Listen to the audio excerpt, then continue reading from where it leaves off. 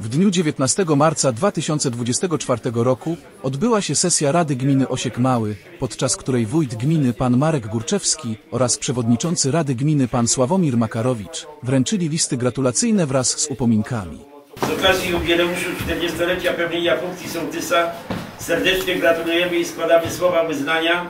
Pragniemy podziękować za wieloletnią pracę na rzecz lokalnej społeczności, za zaangażowanie pełne niezmiernej energii, mądrości w podejmowaniu decyzji i cierpliwości w rozwiązywaniu spraw wiejskich.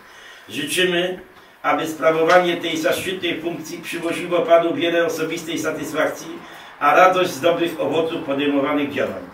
Pierwszą osobą wyróżnioną podczas tego spotkania był pan Andrzej Kędzierski, sołtys wsi Rosocha, który w tym roku obchodzi nieprzerwany jubileusz 40-lecia pełnienia funkcji sołtysa. Gratulacje dla Nikodema Sokołowskiego za zajęcie trzeciego miejsca w dziesiątym ogólnopolskim turnieju mikołajkowym szabli dziewcząt i chłopców Brzoza. Dziękujemy za godne reprezentowanie gminy Osiek Mały i życzymy wielu dalszych sukcesów. Drugą osobą był nasz nastolatek pan Nikodem Sokołowski, mieszkaniec gminy Osiek Mały, który w ostatnim czasie odniósł liczne sukcesy w szermierce na szczeblu ogólnopolskim.